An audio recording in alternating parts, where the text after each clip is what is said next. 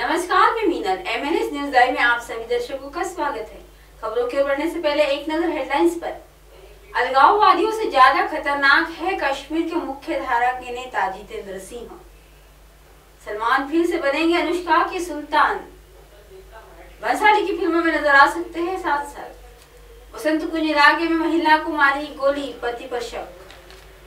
जम्मू केंद्रीय मंत्री जितेंद्र सिंह ने रविवार को कहा कि कश्मीर के कथित मुख्य धारा के नेता, अलगाववादी नेताओं से ज़्यादा खतरनाक है।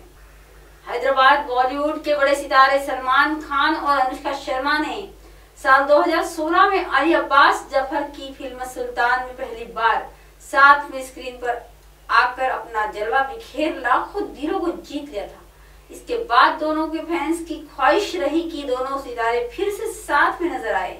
अब ऐसा लग रहा है कि दर्शकों की इच्छा पूरी हो सकती है, क्योंकि खबरों के मुताबिक सलमान और अनुष्का, एक साथ निर्देशक संजय लीला भंसाली की अगली फ़िल्मों में नज़र आ सकते हैं। नई दिल्ली साउथ वेस्ट दिल्ली के वसंत कुंज नॉर्थ थाना इलाके में सुबह एक महिला को गोली मार दी गई। महिला के कंधे में गोली लगी है और उसे तुरंत नज़दीक के हॉस्पिटल में ले जाया गया।